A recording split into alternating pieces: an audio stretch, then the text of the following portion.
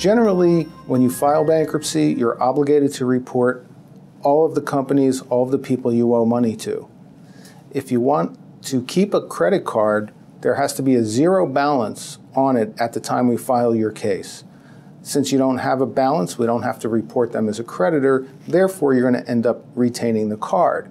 However, that doesn't mean that the creditor will not shut it down once they find out that you filed bankruptcy.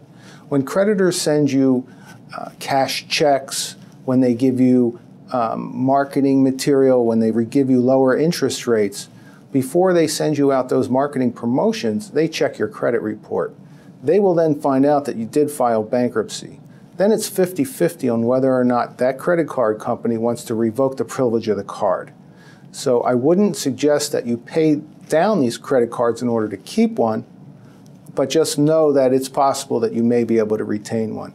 And not only that, you can always use your bank card connected to your bank account to use as a credit card as you would any other credit card, any other line of credit.